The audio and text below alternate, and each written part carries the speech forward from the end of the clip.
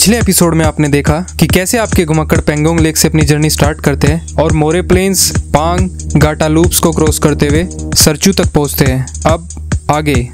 Good morning guys a very beautiful morning from Baralacha La सो गए जैसा आपने हमारी लास्ट वीडियो में देखा है, हम जो लास्ट नाइट थे, वो सरचू में रुके थे और सरचू से हम थोड़ा जल्दी निकल चुके थे, इसलिए ज़्यादा आपको वहाँ का दिखा नहीं पाए। और इस वक्त हम बारालाचला में यहाँ का जो टेम्परेचर है ज़ीरो डिग्री सेल्सियस है सरचू का माइनस में था।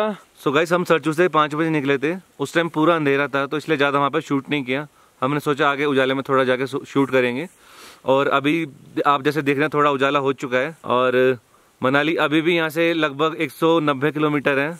तो देखते हैं आगे कितना टाइम लगता है। सरचू क्रॉस करते एक ब्रिज आता है और उस ब्रिज को पार करते ही हिमाचल स्टार्ट हो जाता है। हाँ जी।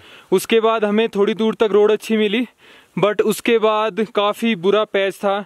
और बीच में तो एक पैच ऐसा आया जो हमारी स्ट्रिप का सबसे वर्स्ट पैच था। सो गाइस अभी तक पहले हम थे दिल्ली में, फिर हम आए हरियाणा में, फिर हम आए पंजाब में, फिर जम्मू कश्मीर में, और हम फाइनली अब हम हिमाचल में आ चुके हैं पाँच दिन बाद। अभी बज रहे हैं साढ़े छः और हमें डेढ़ घंटा लगा है सरचू से बारालाचा आने के लिए। काफ़ी ख़राब रोड था, बहुत ही मशक्क़त से हमने ये क्रॉस किया है।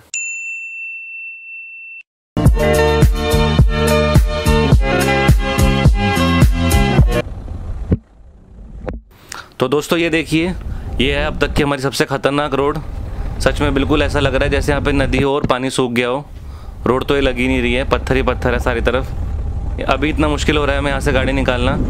पता नहीं समर्स में जब यहाँ पे वाटर क्रॉसिंग होती होगी, तब कितनी मुश्किल होती होगी यहाँ पे। अभी तक की सबसे ख़तरनाक क्रॉसिंग है ये। सच में बहुत ही लकी हमें वाटर क्रॉसिंग नहीं मिली यहाँ पे। तो चलिए दोस्तों, पहले इस खतरनाक रास्ता को क्रॉस कर लेते हैं। फिर उसके बाद बारह लचला आने वाला है। वहाँ पे मिलते हैं आपसे।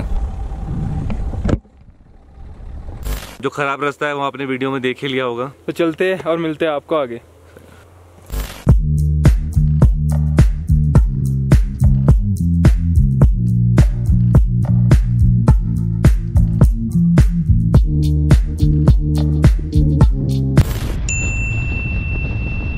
सो दोस्तों आप ये जो सामने देख रहे हैं लेफ़्ट में ये है सूरज ताल इसे भगवान सूर्य देव की लेक भी कहा जाता है। और ये इंडिया की थर्ड हाईएस्ट लेक है।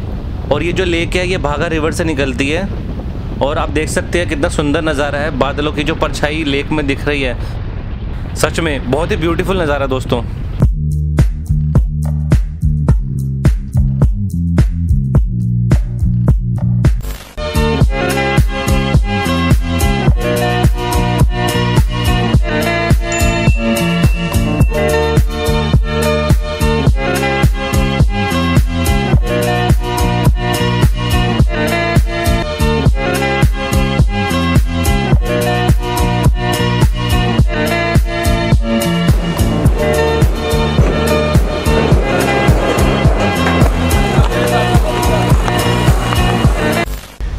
दोस्तों ये आ गई है हमारी इस ट्रिप की सबसे खतरनाक वाटर क्रॉसिंग अबे बच्ची क्रॉसिंग है तो ऐसे क्रॉस कर लेंगे।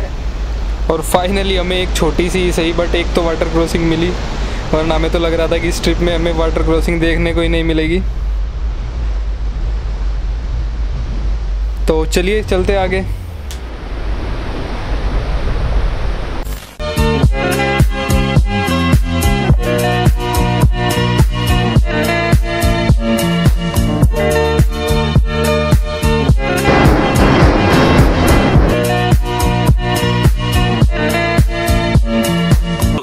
दारचाप आ गए हैं और यहाँ पे अभी पहले आपको अपना नाम वगैरह, गाड़ी नंबर वगैरह बताना होता है चेकिंग के लिए। उसके बाद फिर आगे जाने देते हैं आपको। तो गाइज़ अगर आप यहाँ पर आए तो अपना गाड़ी का नंबर वगैरह सब चेक कराना भूले, वरना आगे जाके रोक लेते हैं। चलिए, आगे चलते हैं, जिस पर मिलते हैं। चलिए।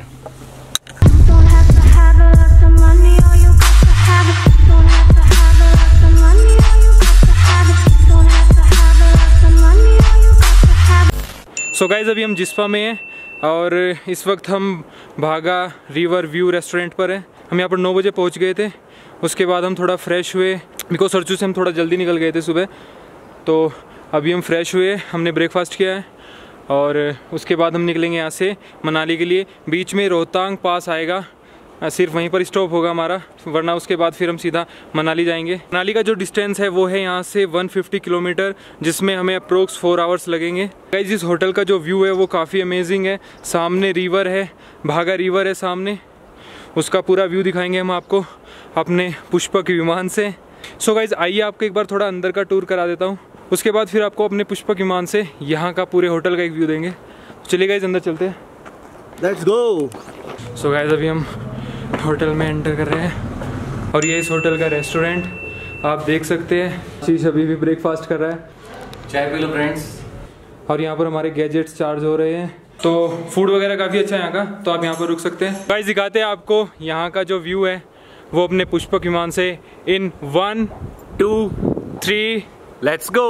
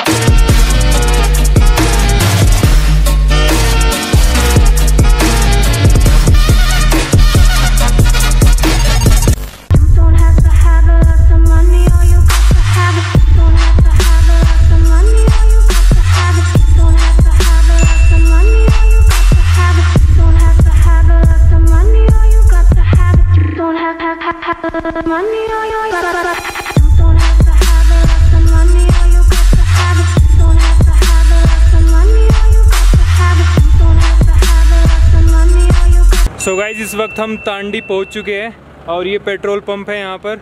इससे पहले जो पेट्रोल पंप था वो कारू में था और कारू के बाद सिर्फ़ तांडी में आकर मिलता है, अगर आपको डीजल या पेट्रोल जो भी लेना है, इसके बीच में कोई भी पेट्रोल पम्प नहीं है और आप पीछे देख भी सकते हैं।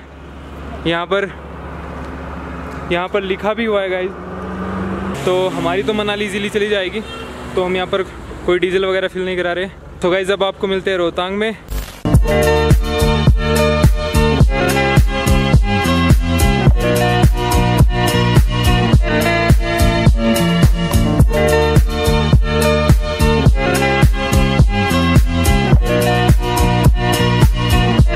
सो गाइस ये जो आप सामने टनल देख रहे हैं, ये टनल सोलांग वैली से इधर आ रही है कोकसर।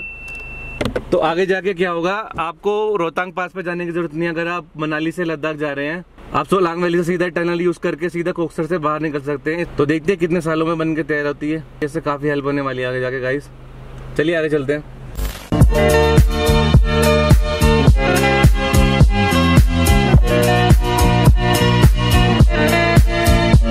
गाइज़ अभी हम यहाँ पर कोकसर चेक पोस्ट पर रुके थे। वहाँ पर भी हमने अपनी गाड़ी का नंबर वगैरह नोट कराया है। और अब हम कोकसर से निकल चुके हैं। रोहतांग पास जो है वो यहाँ से है। 20 किलोमीटर। बने रहिए हमारे साथ। आपको दिखाते हैं रोहतांग पास। क्या कहते हो गुप्ता जी? बहुत बढ़िया है जी। चल रहे हैं रास्ते में। बने रहिए जुड़े रहिए। जुड़े रहिए। लाइव देखते रहिए। किसी को रोहतांग पास के बारे में पता है मैंने सुना है वहाँ पे मुर्दों का ढेर है।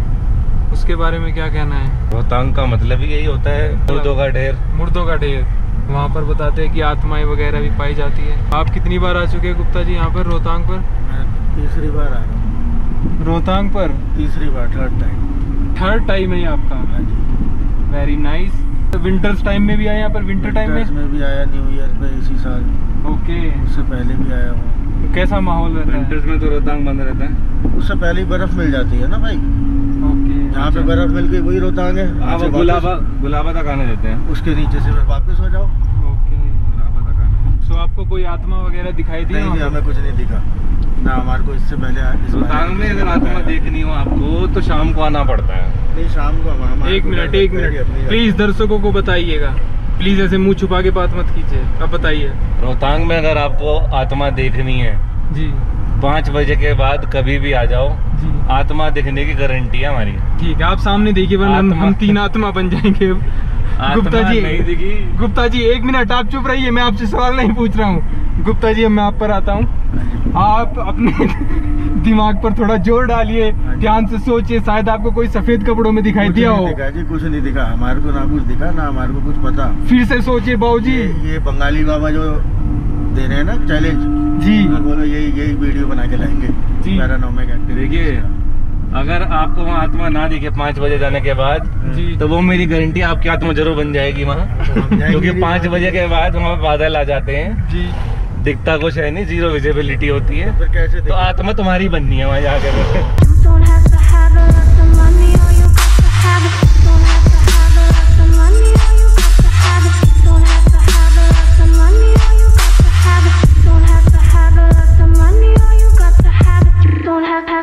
अभी दोपहर के एक बज रहे हैं और हम अपने आखिरी पास रोहतांग पास पे पहुँच गए हैं। और बहुत तेज़ हवा चल रही है यहाँ पे। ठंड इतनी नहीं है जितनी भी हमने पहले देख चुके हैं। बट हाँ हवा बहुत तेज़ चल रही है। और काफ़ी टूरिस्ट भी हैं यहाँ पे। पीछे तो सारा खाली खाली हमने देखा है सारा। यहाँ पे काफ़ी टूरिस्ट है। तो गाइज़ इस पास की जो हाइट है वह थर्टीन थाउज़ेंड फिफ्टी एट ये तो अच्छा लग रहा है हम इतने बड़े बड़े पास कर चुके हैं ना। सही में। अब तो ऐसा लग रहा है कि हमारा घर इससे ज़्यादा हाइट पर है। तो चलिए दिखाते हैं आपको यहाँ के नज़ारे। चलिए।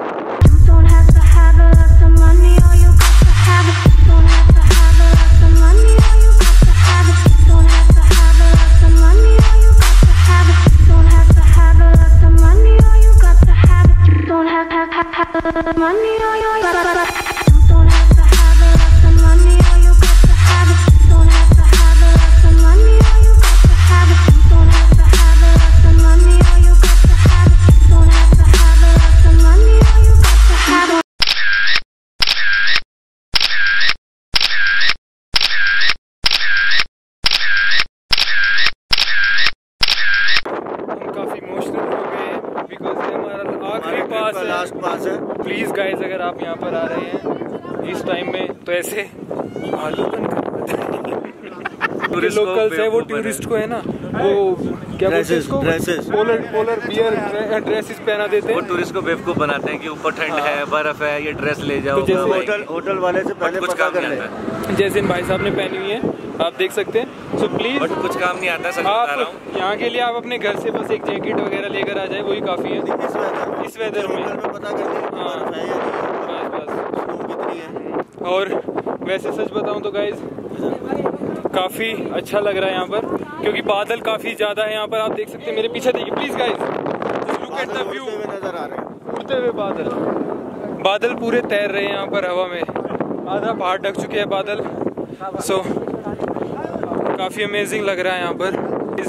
अगर आप यहाँ पर स्नो के टाइम पे आते हैं किस मंथ में आते हैं अब गुप्ता जी बताएँगे आपको। जून जुलाई में। अगर आप यहाँ पर जून जुलाई में आते हैं तो ये मिलती है। ये जो पूरा एरिया आप देख रहे हैं यहाँ पर चारों तरफ़ स्नो कवर्ड है। ये पूरा स्नो कवर्ड होता है। इसमें काफ़ी एक्टिविटीज़ होती है स्नो से रिलेटेड गेम्स वगैरह। आप देख सकते हैं कुछ लोग यहाँ पर आकर हैं ये ऐसे कूड़ा करकट फैला हुआ है। सो प्लीज़ आपसे रिक्वेस्ट है कूड़ा कचरा यहाँ पर मत फैलाए। आप जो पीछे खच्चर देख रहे घोड़े देख रहे हैं आप इन पर बैठकर ऊपर वहाँ टॉप पे जा सकते टॉप हैं। पर जा सकते हैं और वहाँ से भी व्यू ले सकते हैं। ट्रैकिंग करके भी जा सकते हैं। ट्रैकिंग करके भी जा सकते हैं। ज़्यादा अलग ही मज़ा है। ज़्यादा टफ नहीं है। हाँ इससे इससे ज़्यादा टफ तो हमने जोजिला पास वाली क्या कहते हो? बट यहाँ से व्यूज़ अच्छे हैं। वेदर यहाँ पे ज़्यादा प्लेजेंट है। व्यूज़ यहाँ यहाँ से जो व्यू आता है चारों तरफ़ काफ़ी अच्छा आता है। और आप देख सकते हैं इधर अब त्यागी जी सेल्फी स्टिक तैयार किए हुए। चारों तरफ़ के नज़ारे ले। ओ my god is literally dancing and we are enjoying and living this moment at Rohtang pass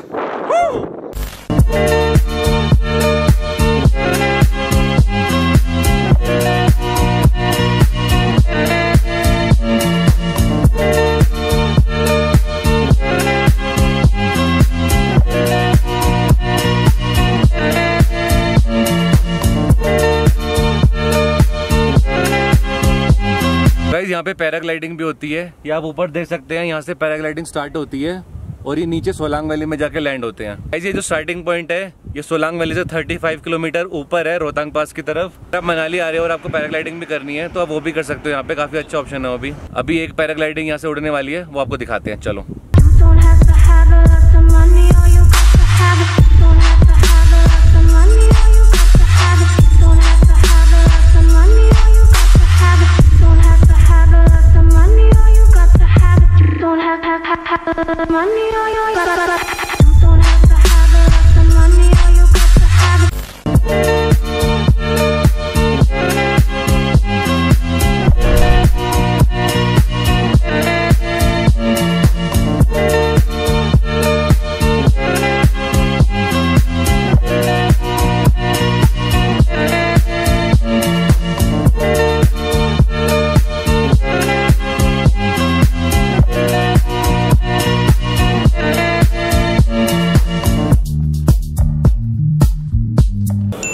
अभी दोपहर के साढ़े तीन बज रहे हैं और हम यहाँ सोलांग वैली पहुँच चुके हैं, जो मनाली से लगभग 10 या 15 किलोमीटर पहले है।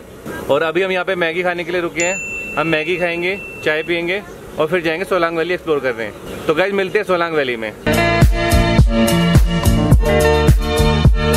सो so गाइज़ अब हम आ गए सोलांग वैली में। आप हमारे पीछे देख रहे हैं। Ropeway and ski centre. यहाँ से रोप वे होता है जो सीधा ऊपर टॉप पे लेके जाता है हिल के। सर्दियों में यहाँ पे स्की भी होती है। अगर आप विंटर्स में यहाँ पे आएँगे तो सारे में बर्फ़ वगैरह होती है। काफ़ी अच्छा नज़ारा होता है यहाँ पे। और गाइज़ यहाँ पे पैराग्लाइडिंग भी होती है। आप सामने देख सकते हैं। शॉर्ट वाली पैराग्लाइडिंग है गाइज़ ये सिर्फ़ पाँच मिनट की होती है। जो बस ऊपर हिल टॉप से नीचे तक आती है।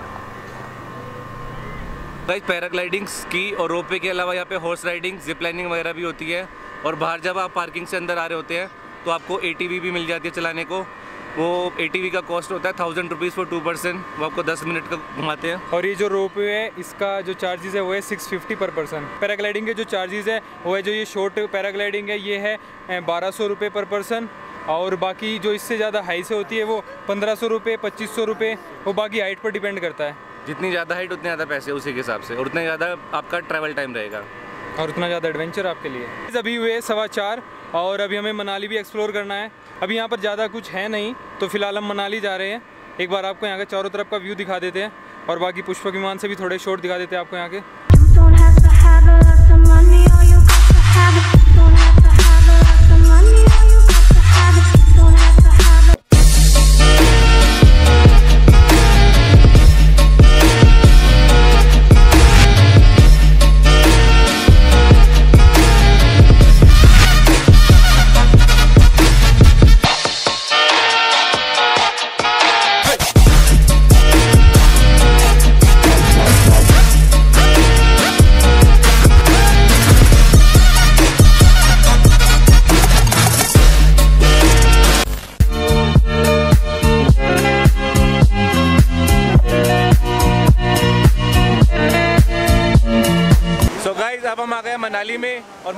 सबसे पहले आए हैं क्लब हाउस यहाँ पर हम ट्राई करेंगे रिवर क्रॉसिंग देखिए ऐसे होती है। ये रिवर है और ये रोप बाँध रखी है और इसको भी हम बेल्ट लगा के क्रॉस करेंगे। तो चलिए गाइज़ देखते हैं रिवर क्रॉसिंग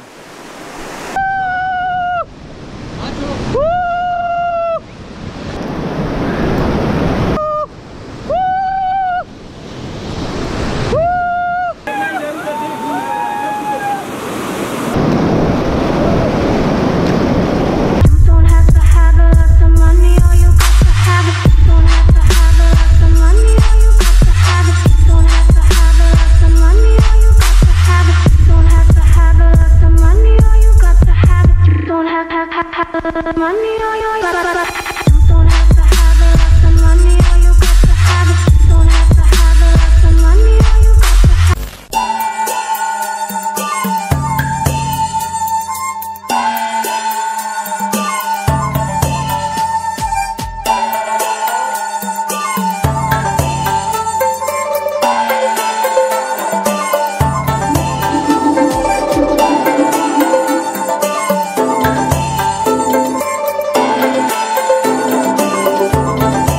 अभी हम आ गए हडिम्बा देवी टेंपल पे। सो गाइज़ जो हडिम्बा देवी थी, वो भीम की पत्नी थी। और ये टेंपल काफ़ी फ़ेमस है मनाली में। और गाइज़ यहाँ पे काफ़ी मूवीज़ भी शूट हो रखी है। अगर आपको मूवी याद हो, ये जवानी दीवानी, उसका एक विलेज की वेडिंग का सीन भी यहाँ पे शूट हो रखा है, जिसमें यहाँ पे वो शूटिंग करते हैं और यहाँ से पूरा शादियों के पूरे नीचे जा रहे होते हैं। नीचे एक मैगी वाली आंटी खड़ी होती हैं। उसकी शूटिंग भी यहीं पे हुई थी। तो ये भी काफ़ी अच्छी जगह है गाइज़ मनाली में आकर घूमने के लिए। एक बार अगर आप मनाली आए तो यहाँ पर भी ज़रूर आएँ। सो गाइज़ अभी शाम के छः बज गए और, अब हम जा रहे हैं मॉल रोड पर तो गाइज़ चलिए मिलते हैं मॉल रोड पे।